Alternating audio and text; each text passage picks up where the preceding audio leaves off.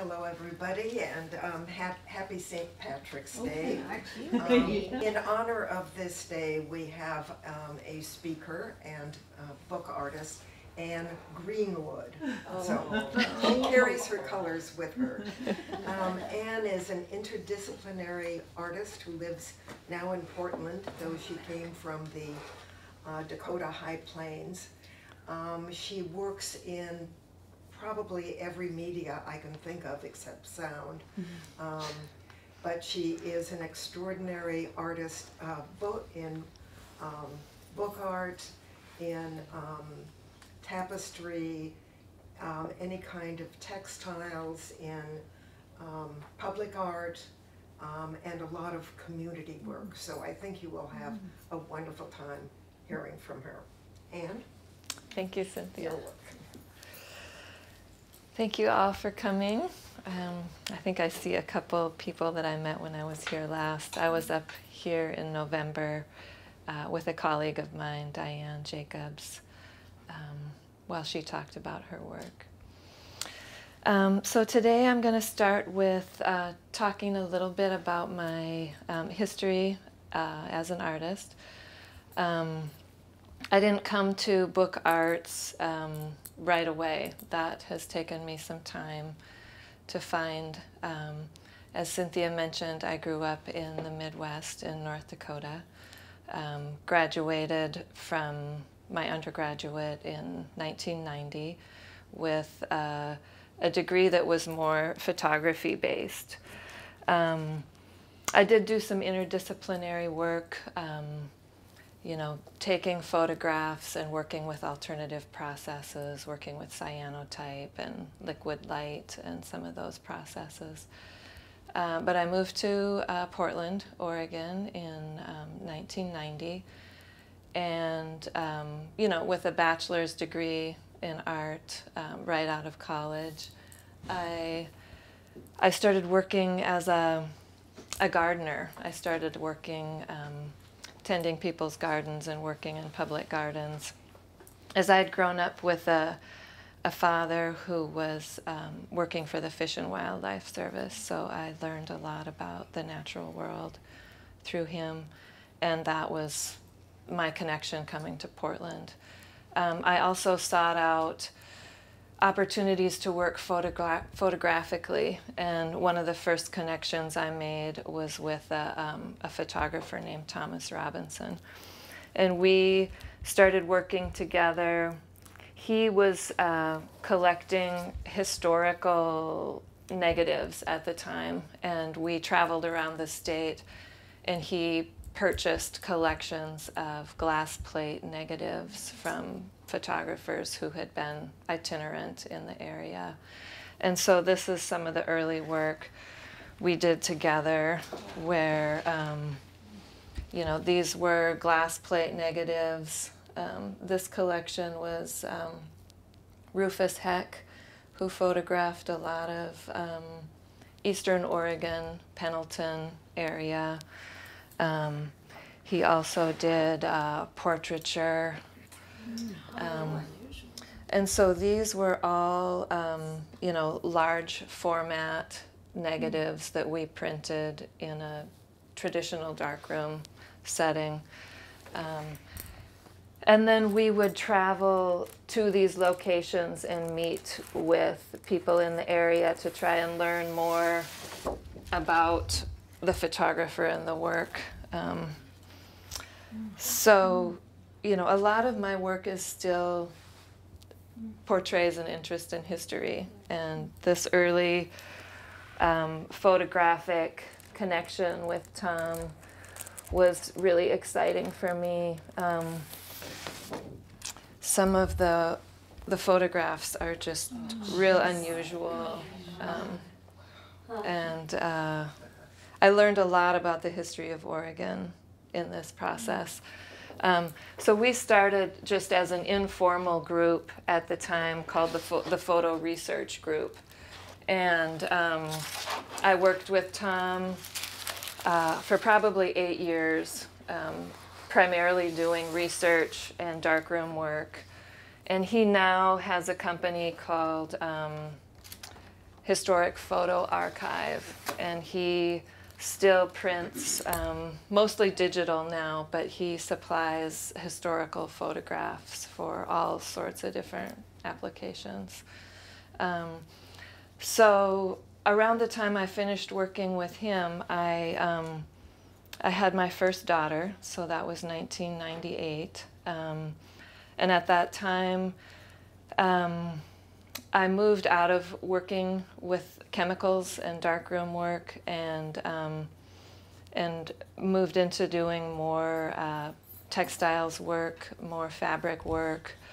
Um, my neighbor at the time was a restored tapestries and quilts, and uh, she and I were getting together, and um, she was planning to move out of town and shared with me kind of uh, her studio, invited me in to choose whatever I needed because she was moving on to other things. So around 1998, 99, I set up a, a, studio in my home that was more textiles based. Um, and one of the first books I made prior to that, you know, I, I didn't know that there was a field within art called book arts at that time, even though I was living in Portland where the Oregon College of Arts and Crafts was training people to be book artists.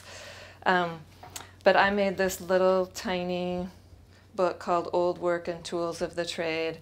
I had purchased a, I think it's called a Signograph. It's just a tabletop um, sign making press with a press bed just a little bit larger than this. And I had worked in linoleum carving before, but this allowed me to set a little bit of type. Um, and so I made this for a collaborative exhibit called Multiple Miniatures, where seven artists made editions of seven pieces that were under the dimensions of seven by seven. And so these are all linoleum carvings, um, referencing tools and old work. Um, at the time I made this, I was working full time as a, uh, a gardener. And so um, all of my artwork was kind of a weekend project. Um, yeah, so this was my first my first book, and uh, since since then I've learned that this is this is not a great way to bind a book because you can't really look at it very easily, um, but it served that purpose, um, and so. After that, I started, um, you know, I had a young daughter at home, was transitioning uh, to staying at home for the most part, and started a, a home kind of a stitching group with uh, women in the neighborhood, women and men. Um, and we got together once a week and um, we're just getting together kind of to talk and spend time together. But that is where um, I really started delving into textiles more and um, and came up with the idea for my second book, which was called Winter Count. And um, I'm going to send around a, a photograph of the project. These are um, hand embroidered pieces on uh, linen. Um, I generally work with repurposed materials um, linen, cotton, wool.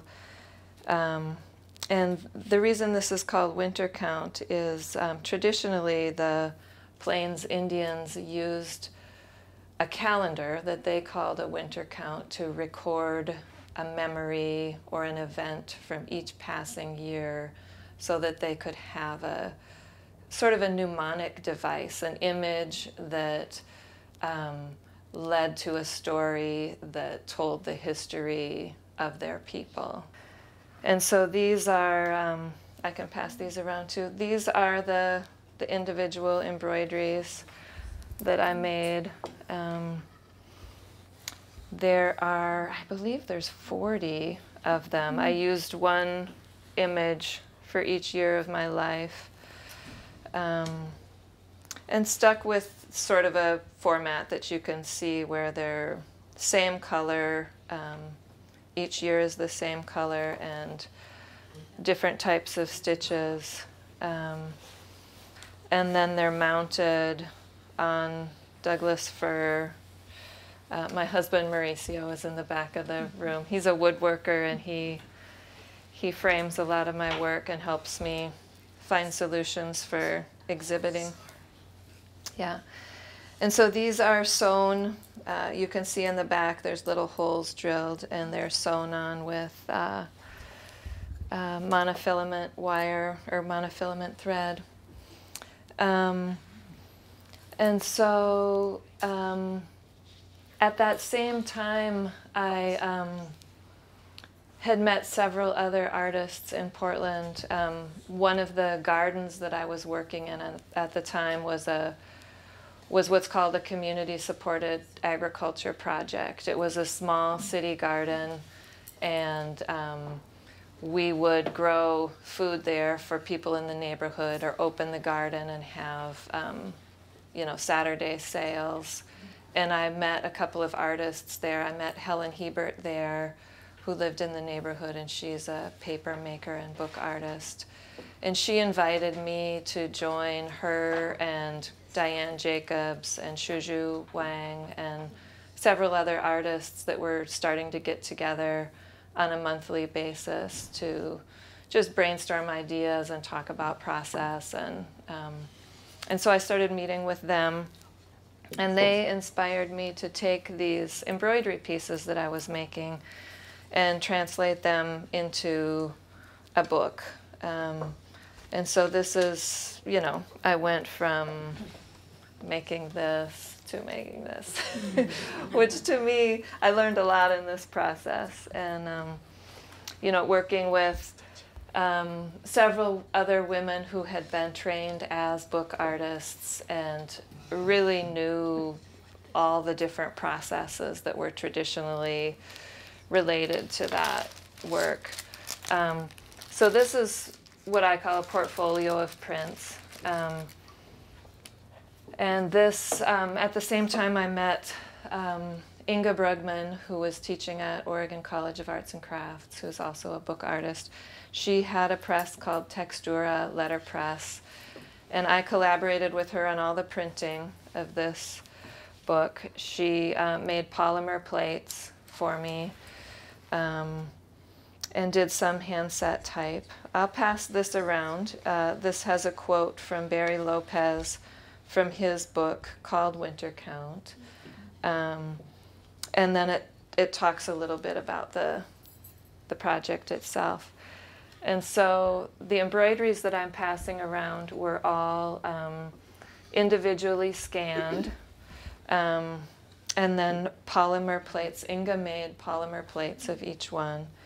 And we came as close as we could to matching the color to the actual embroideries and um, imprinted this edition of um, of years um, from my life, uh, and so they each are are marked with the year in the in the corner. Um, and this one has always been hard to see, um, but. Uh, what It- paper are those on? Pardon me? What paper are those on? They're on Fabriano Rosa Spina. Yeah. Uh, so Inge really walked me through um, a lot of the the letterpress process. She we we consulted um, pretty closely on paper and size and um, all sorts of those considerations. Um, and then um, the last couple pages are uh, a list of the stitches and the titles of the different works um, and the colophon. Um, yeah, so this was this really introduced me to kind of the formal world of, of book arts. Um, working with Diane and um, Shuju and Helen. Um, you know, I think Diane was mostly working in book arts, but um, Helen had yet to kind of begin her career as a book artist too. So it was uh, it was very inspiring for all of us to meet on a regular basis. We probably met. Um, we still see each other. Helen moved to Colorado, but we still see each other, and we met. Um, you know, every month for probably uh, seven or eight years, and mm-hmm. exhibited. Um, we started collaborating together. Um, we made another piece. Um, let me see. Um, we made a a project together called All About Food, and I don't have this piece. It was a it was a one of a kind, um, but we made an exhibit together, an installation that was a tabletop, and my piece was a fabric book that was a place setting. We each mm. made a different place setting, and so this book kind of went through um, the different courses of a meal mm. on each page and it was called The Fear and um, the Pleasure of Food. And it is on my website if people want to see that. Um, and um, at that time, I also started doing quite a few community projects. Um, I was working um, with some of the local schools and um, and started doing some teaching. And I made this this next book which is, is a self-published book that is documents um, the project that I did with the students. And um, this project was bringing in um, another Native American concept, which was kind of the cycles of life, called Lost Harmonies. And um, the students and I I think it was uh, middle school students. We went to the art museum. We went to Helen's papermaking studio. We went to a printmaking studio. Um, and the students all learned about these different processes. And then we, um, we made some tapestries on um, Tyvek, which they illustrated um, you know, breaking into four groups, four cycles of life, different groups of students working on each tapestry, translating their ideas about that cycle. And then I went through and cut out, um, uh, I'll show you one of the images here. I made four um, prints that uh, mirrored that project, the tapestry that the kids did. And then um, made wooden templates and folded up the tapestries and cut out these images. Um, I'll pass this around so you can take a closer look. And local artist Rebecca Wild, who I think now lives up in this area, she was down in Portland, but she's a calligrapher. She um, took quotes from the book called, um, oh, what is it called? Let me look here. It is uh, Language of the Birds. Um, and so she took uh, poems from that book and paired them with the different cycles of life and, um, uh, you know, worked in calligraphy on the opposing side of the tapestry that the kids worked on. So this was also one of my introduction, introductions to working with students in school, bringing art projects into the classroom. Um, and at the same time, I was, um, uh, you know, staying at home, not working as much as a gardener, not working professionally in that capacity. Um, there, I, I was living in a in a, a changing neighborhood. Uh, when my husband and I bought our house, um, I think in 1996, it was condemned and it was in a, you know, neighborhood that had been neglected, marginalized. Um, and so there were there were a lot of vacant lots that um, you know community development corporations were were grabbing up and and building um, you know multiple condos and um, so at that time uh, there was a, a small parcel of, la- of land close to our house that a couple of community members got together and said, you know, can't we turn this into a little park? Does it have to have three condos on it? Mm-hmm. And so we uh, formed a, a, small group and approached Portland Parks and Recreation and a couple of city agencies and got this piece of land set aside um, as a small park. And um, it's mm-hmm. called the Albina Green. And so I spent many years writing grants um, to uh, turn this neglected, tax foreclosed piece of property into a small public community green space. And over the course of, let's see, this started in 1998.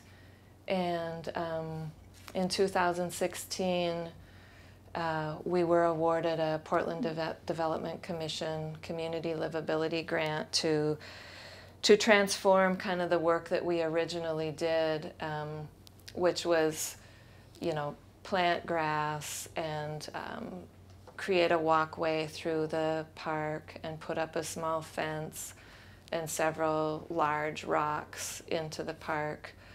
Um, and this time around, we opened the park up and created what you can see here, which is a little grass stage for musicians and theater performance and kind of improvisational events to occur in the city.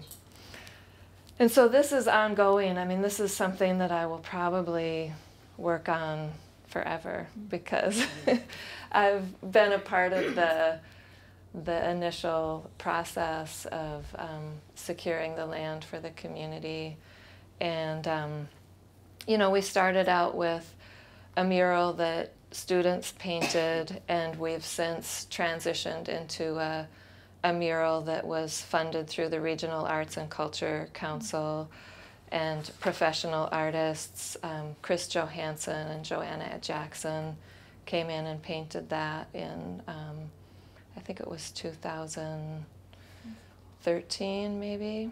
Um, Yes. Where in Portland is it? It is in North Portland. It's on the corner of Albina and Sumner Streets. And it's quite small. It's, um, I think I have the, the dimensions here. Um, yeah, it's um, 3,552 square feet. So, you know, we do events now like the Portland Art Museum will um, you know, put a screen on the wall in front of the mural and show open air films over the summer. Um, different groups gather there for anything from like a garage sale to um, like what is that concert? Concert. Um, there's this group. I can't remember what it is. It's like a, a group of redheaded people that gather together. I think they call themselves like the gingers, or I, am not sure what it is. But I have a photograph of probably a hundred red-haired people gathered in the park. So, you know, it's it's great that it's kind of taken on a life of its own. You know, we tried at first to, you know, stage events there and it's just been fun to see the community take it over and do what they like there. Um, yeah, so that is something that I continue to work on. Um, I think my next book project was um, was a smaller project. Um, I was invited to uh, create work a friend of mine was living in LA at the time, and she was curating an exhibit called Soft. Um, it needed to be work that could hang on the wall. And um, so I came up with an idea for a book that could hang on the wall. This is an edition of three books called Blow Me Away, and it is a pocket book um, that the strings untie, and it has two grommets here that the the bias tape goes through, and then on the inside is a little bit of rabbit fur. So you get to stick your hand in there and feel the rabbit fur. And then there's a small book, um, screen printed linen um, with hand embroidery, title page. Um, and this is just a, a very simple story of, um, I'm sure you're all getting the idea here. the seeds dispersing from a dandelion. And um, it was a, I think because of the title, it, um, it made me start thinking about um, creating a tactile work um, that uh, was simple and um, and just really um, you know alluded to um, kind of childhood for me, which was full of sensations. Um, uh, you know, like my my father used to carry these. You know, part of his uniform was blue Levi's and a red bandana mm-hmm. hanky that he kept in his pocket. And so, um, you know, growing up in the country um, and learning a lot of the plants and weeds, um, this piece kind of came together as just a simple reference to childhood um, experiences. And I'll pass this around for you all.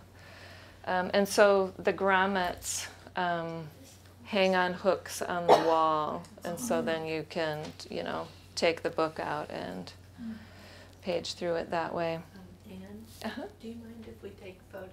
No, that's, yeah, go ahead. Yeah, and please, if there are any questions as I'm talking, let me know.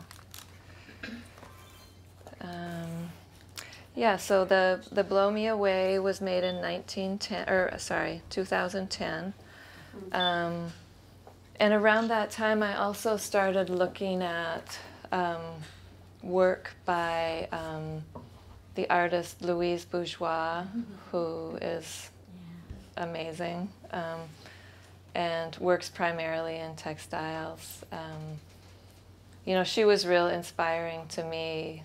So, at the same time that I've been making these fabric books, I've also been making um, what I call fabric drawings, which are, you know, more two-dimensional works that are, um, you know, um, sometimes I'll take repurposed materials, which there are so many of, um, linen napkins or dish towels or um, domestic textiles, and screen print and overstitch with embroidery. Um, I do a lot of dyeing with natural dyes. In Portland, there's an amazing resource, um, Aurora Silks, um, a very eccentric master dyer who travels all over the world and collects uh, mostly um, wood fibers that she uses and sells as natural dyes. So I started getting introduced to her um, her materials and started doing some dyeing um, in silk and uh, silk embroidery thread, um, silk fabric, um, cotton, wool, um, mostly natural fibers. And uh, that led me to the next book I made, which um, is an edition of three. It's called Over and Over. Um, and this is all hand and machine stitched. Um, the cover is an old blanket. Um, the embroidery thread is um, dyed in indigo. Um, and so this is a, at the same time, I, I think it was, um, I don't remember, I think it was Oregon College of Arts and Crafts brought in an embroiderer, um, Tom Lundgren, who teaches in uh, Boulder, Colorado. And at Oregon College of Arts and Crafts, they have um, you know amazing facilities, looms and sewing machines. And I was introduced to this Bernina sewing machine, which sews text. It's um, kind of like an, one of those old cell phones where you you know you can put in up to 56 characters one at a time mm-hmm. spacing in between it's uh, it's taken me a long time to just be able to focus on remembering all the letters and getting them in. Um, but that's that's when I acquired this that sewing machine and started uh, incorporating some text into my work. And so this book, um, I started the year that a very close friend of mine and mentor passed away. The fabrics were um, hers. Uh, and I, like I said, manipulated them with, um, with screen printing and embroidery. Um, and sewed all the text along the spine. Um, this is also linen dyed in indigo. Um, and it was this, the last book I showed, The Blow Me Away, and this book that um, I started exploring the, the idea of uh, transformation and metamorphosis and taking one shape and changing it and telling a, a simple story through um, changing the shape. Um, or transitioning an image. Um, and so this is all um, hand sewn, sewn, except for the binding, um, which is machine stitched. And um, yeah, so this is a transformational story. Um, and it took me about four years to make three of these books because wow. I think the the in the process of it, I was kind of coming to terms with this friend of mine passing away and using this process of making a book and stitching as um, part of a therapeutic process. Um, so this is this is kind of the style of work that I'm I'm more currently involved in is um, is making books that are fabric. Um, I like to explore the the methods of translating fabric into printed work, um, like in the Winter Count, and um, exploring, uh, you know, what other things you can do with fabric because um, sometimes the textiles processes are so labor intensive, the hand sewing, um, that I've, I've constantly been looking for ways to reproduce um, some of the textiles work so you can edition it and so it can reach a wider audience. And so you know this this one piece that you've spent hours and hours and hours laboring on can go to more than just one person or um, you know travel a little bit. Um, and uh, I won't go into my next book which um, which entails some of that. I'm going to talk a little bit about a, a great big community project first. Um, so let's see, I think it was in um, uh, 2000. Um, yeah. Um, 2014, um, I had submitted an idea to um, the Portland Community College Cascade Art Gallery for a community project that I was interested in in pursuing. Um, I had always been interested in the feed sacks. Um, you know, this is uh, some work that I collected over the years. These were uh, sugar sacks. They were five pound bags of sugar that were sold um, during the Depression era with these different ethnicities of dolls on them that, um, you know, once the sugar was gone, you could um, take apart the the feed sack and sew together this doll. And uh, so this continues on the, on my path of taking historical ideas and translating them into contemporary projects. And what are the dates of these approximate? Yeah, the dates of these, uh, like 1935, 36. Yeah. And I was just really intrigued by how um, ethnicity was conveyed at that time. Um, you know, I think it was a time when, you know, people were more traditional and they were immigrating to the United States and, you know, kind of sticking with their cultures.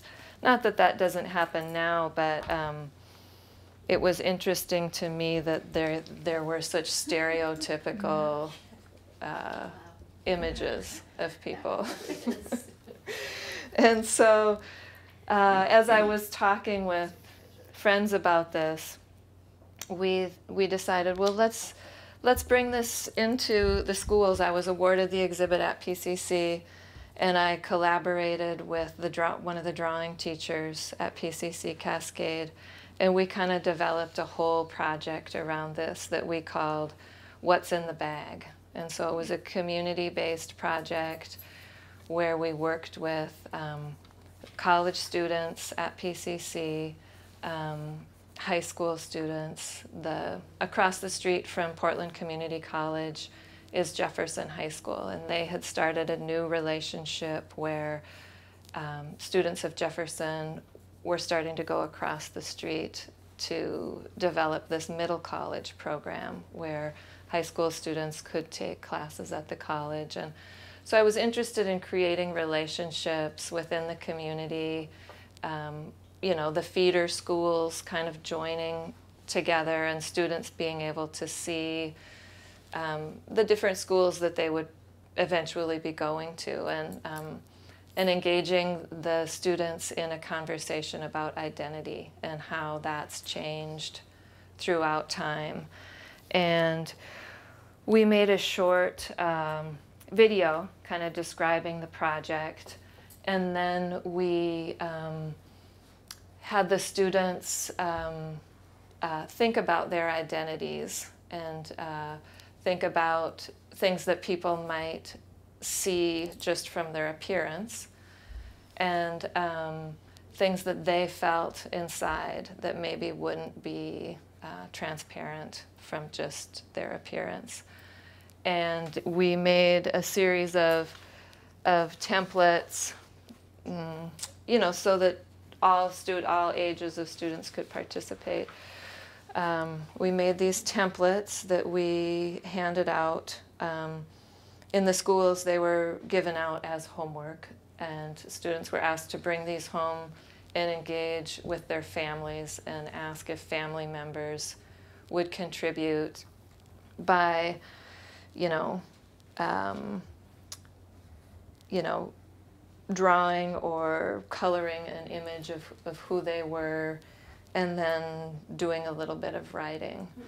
Um, and so I'll pass some of these around. They're vastly different. It's it was a really interesting experience to uh, give all ages of people the opportunity to talk about um, who they were and uh, be real creative about um, what they thought they looked like or uh, um,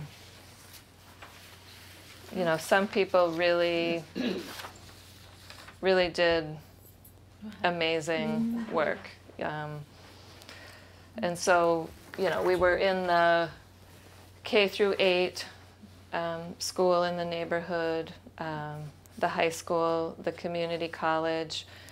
We also took the project up to lewis and clark college for the um, for the gender symposium.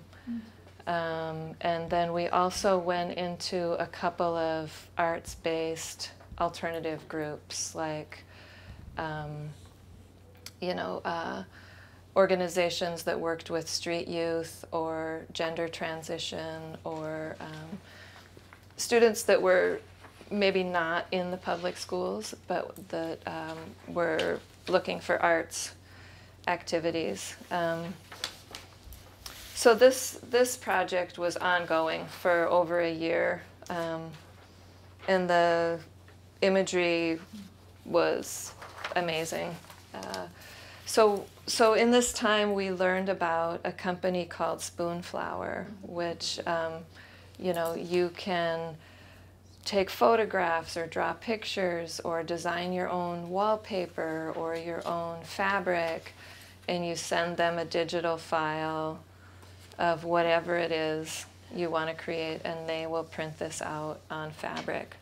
So um, we uh, we then translated these um, drawings into these feed sacks um, that we filled with beans and rice and redistributed to the neighborhood uh, in a small market in the neighborhood.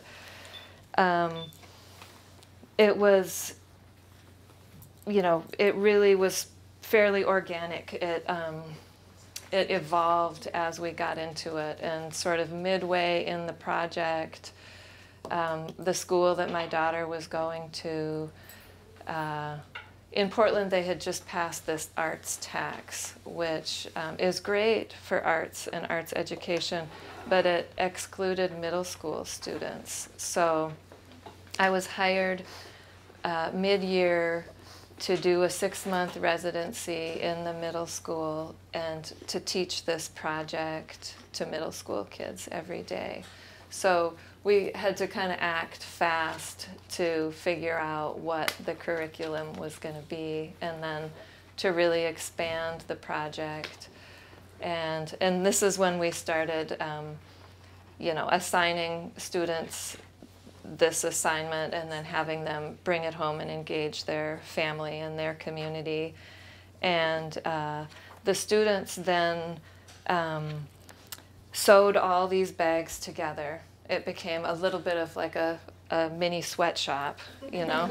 Um, we did all sorts of conversing about identity, um, individual identity, group identity, ethnicity, and uh, you know the students each had a journal and a sketchbook that they kept that they worked in every day, and we explored different elements of art based on um, you know what the assignment was. And so we made these linen feed sacks, and uh, this is what they look like, um, filled with, you know, beans and rice. And you can, you'll be able to see when you look at these that, um, you know, the kids hand stitched all of these together. We also asked students to hand embroider on the um, the fabric to either accentuate the color or add um, a new layer of image to the design. This I wanted to make sure I showed you is um, one of the PCC students. So here is his template, and then here's how it translated into a feed sack. And some of these stories are are heartbreaking. I mean, this student um, is is a is a homeless person, and he was, you know, telling his story um, on the feed sack, and it, it gave the teachers real insight into who the students were in a new way that they had yet um, encountered, you know, which was was a, a, a side effect that I hadn't really thought of. When you said that you were putting these out in the, you know, to the community, you Uh-huh. you had them printed, did, um, for instance, with this person, was that putting, was that hard for them to put their own story or their own image out for everyone else to see? Well, Or not? Was that not an issue? it didn't seem to be much of an issue. I mean, it must be more of our adult sense of, Yeah. hide that, Yeah. as opposed to Well, letting go. Yeah, well, I mean, part of how it went was, um, you know, we did these in class activities, and then um, the drawing instructor gave this as an assignment, and it was just turned in, Mhm. and then the students were invited to the exhibit. Mm. Many of whom didn't even come to the exhibit, they just did the work Mm. because it was an assignment, you know. And and so uh, most of them are not uh, authored. Mhm. You know, there's no name attached to them.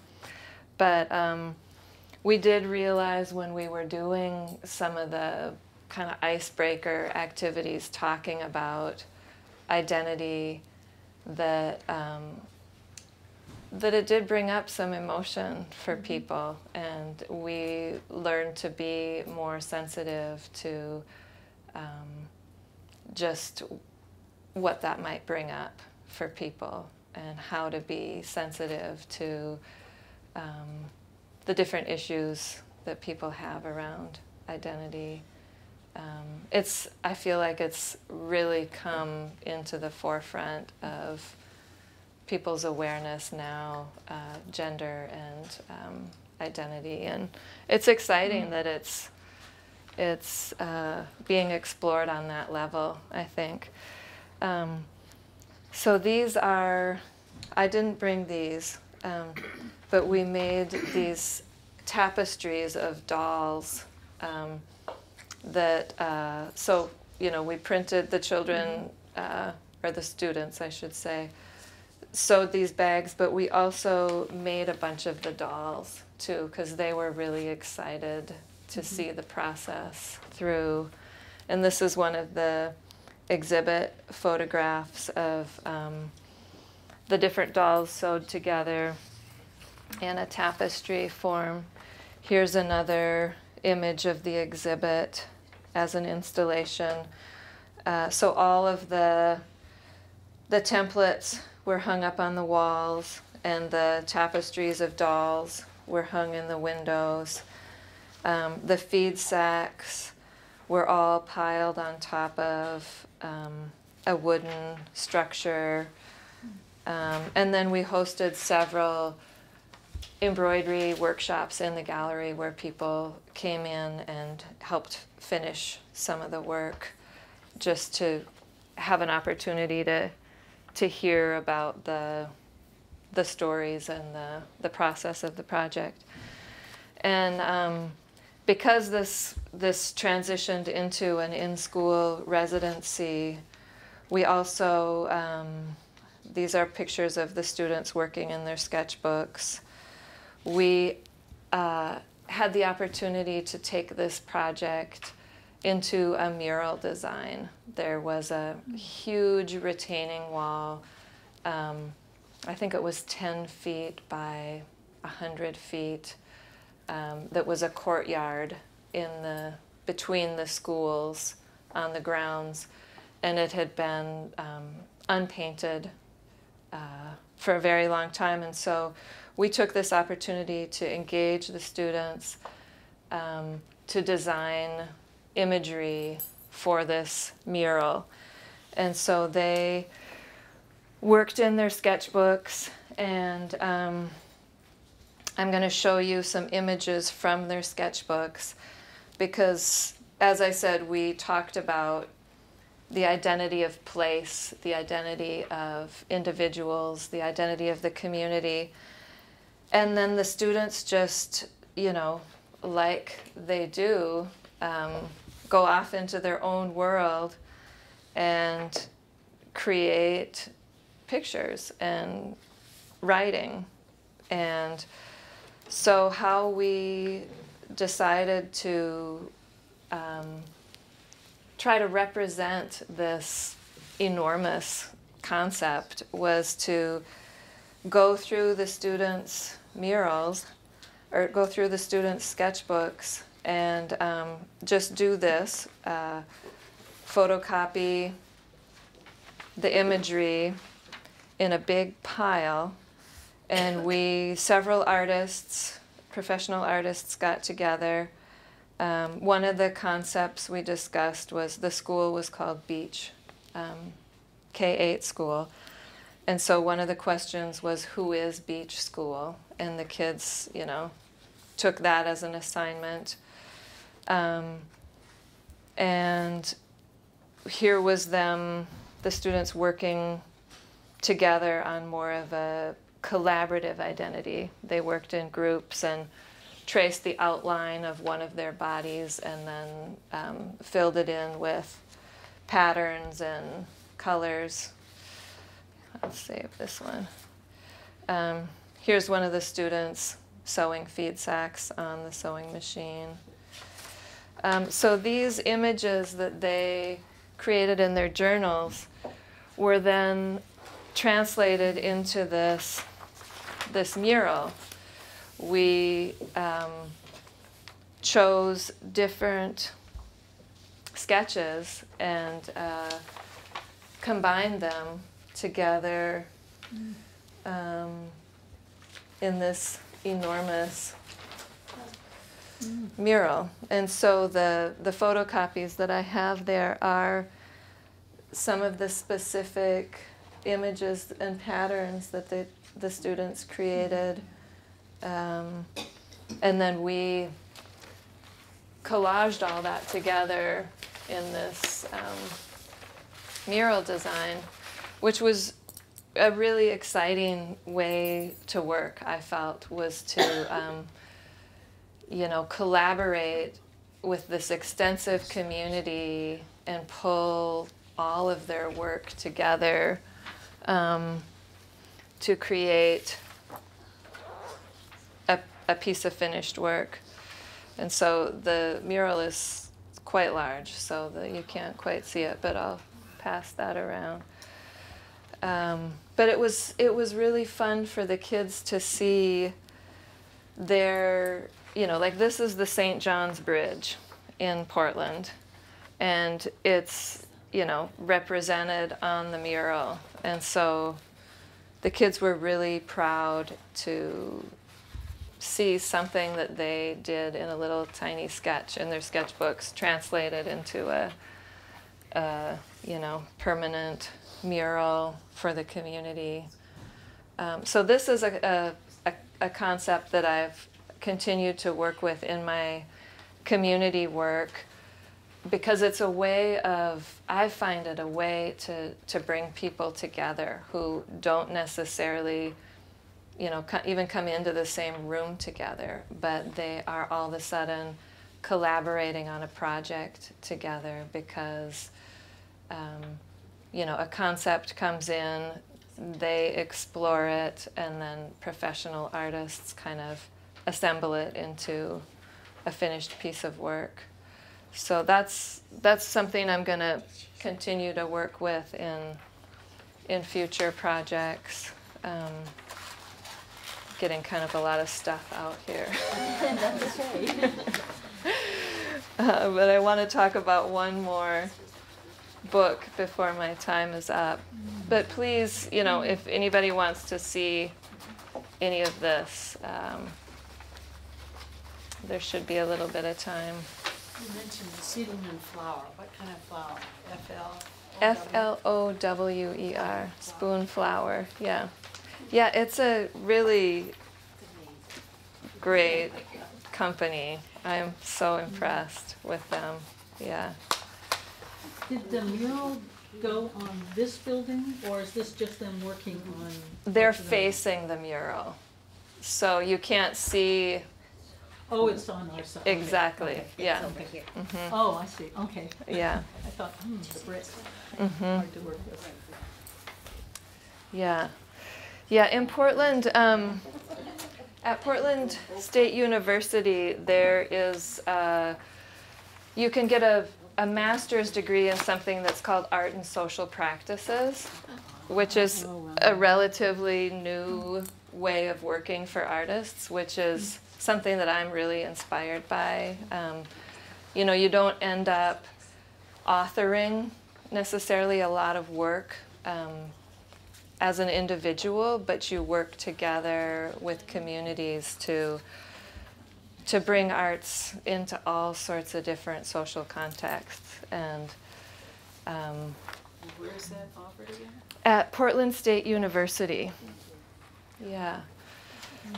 Um, the last project I'm going to touch on here is um, my most recent book um, called Tapestry of Hours. Yeah, I'll take that. Thank you. I actually want to talk about two things. But um, so this next project is called Tapestry of Hours, and um, was inspired by a conversation I had with uh, Sandra Kroupa over at the University of Washington. Um, she and I were, were looking at artists' books together and talking, and um, and she said, "I don't know if you're familiar with the poet Hazel Hall, but she is from Portland, and and yeah, and you should probably know about her." And I was unfamiliar with her work, but um, when I returned to Portland, I you know started researching her work and. Uh, became inspired by her poetry and um, made this um, portfolio. Again, this is um, uh, this is the original fabric piece. It is uh, poetry of Hazel Halls that I cut up into, um, you know, line by line and reassembled in a different form um, using kind of the cut up method of William Burroughs and some of the beat poets of the 60s um, worked with that idea. And so this is some, some poetry of Hazel Hall's that I uh, programmed into my sewing machine.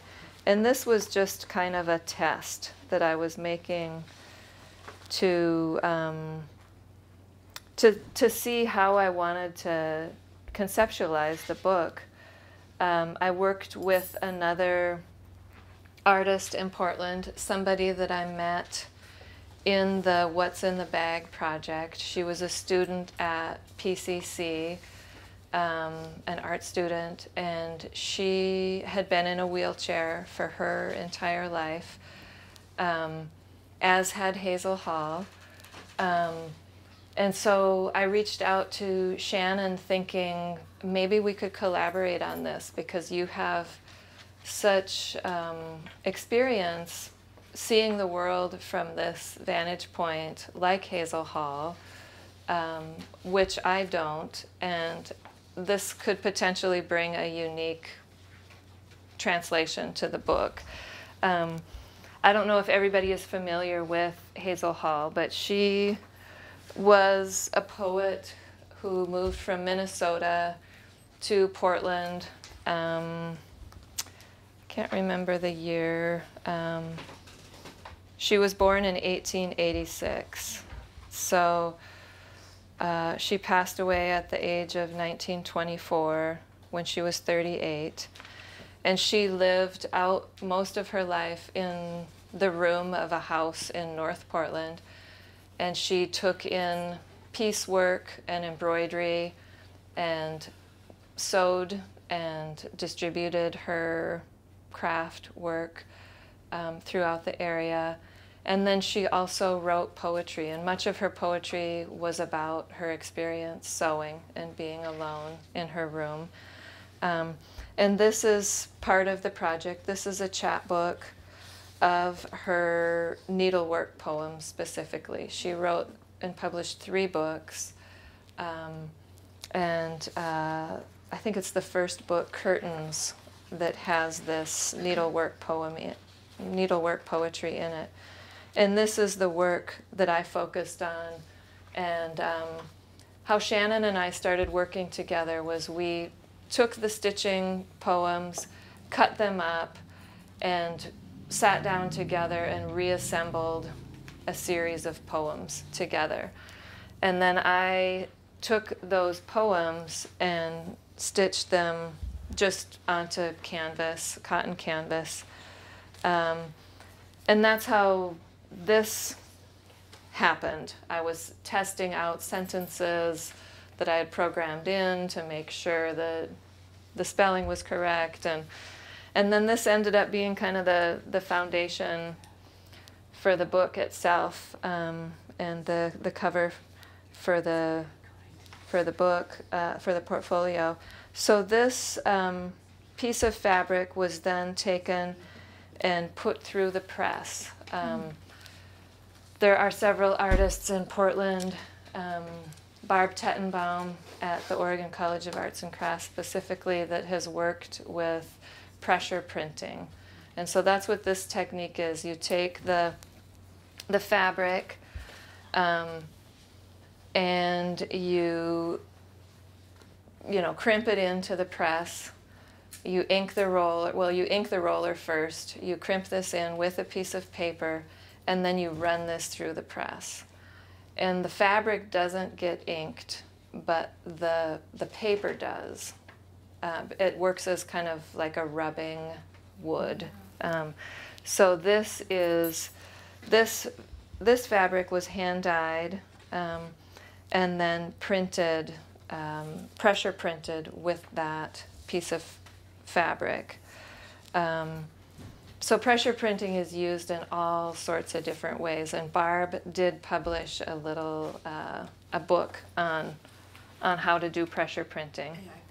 Yeah. Mm-hmm. Um, and so this project is a series of chapbooks that are just republished needlework poems, and then an edition of 12 of these special edition portfolios and um, this is the fabric. It's, this is crinoline, um, and then this is a pochoir um, stenciled uh, pressure print.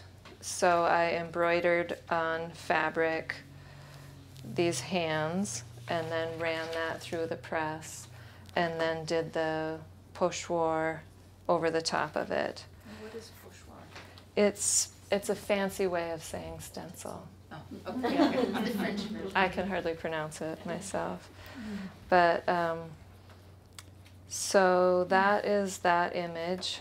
Um, and then inside this book are um, the needlework poems, in addition to some tipped in pressure prints of hand embroidery by myself and Shannon. Um, What is Barb's last name? Tettenbaum, Tettenbaum. How do we spell that? T E T T. T E T T E N B A U M, I think. Yes. Was there a need to get uh, permission from the family or her estate at all, or did, were you able to just do this freely? Yeah, Uh-huh. I did this freely, but um, uh, Oregon State University in Corvallis has a press, and they had just recently republished the collected works of Hazel Hall. So all three of her books republished in one collection. So I did reach out to them, told them about the project, and they were happy about it. Um, yeah, so these are um, little tipped in images.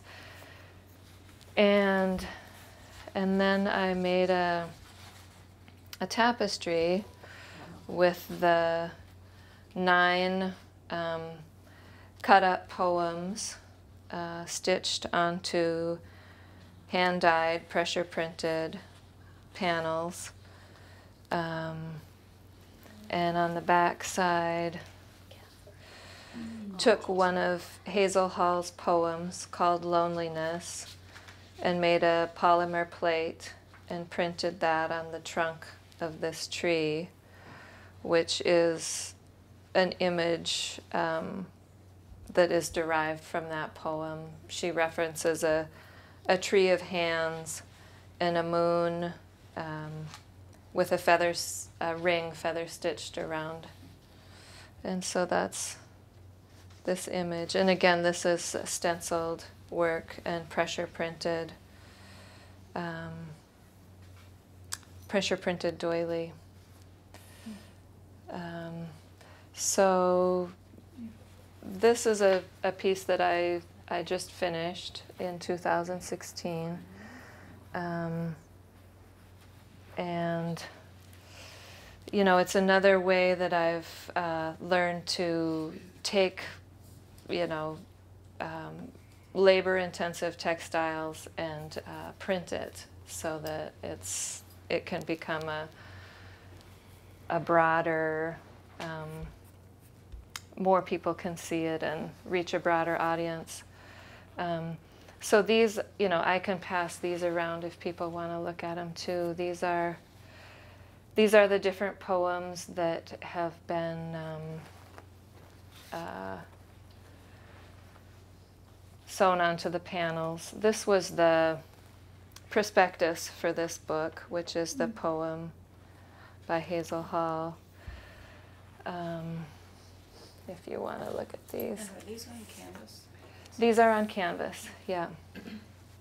hmm Do I have just another minute or should we wrap it up? Huh? Clap now, okay.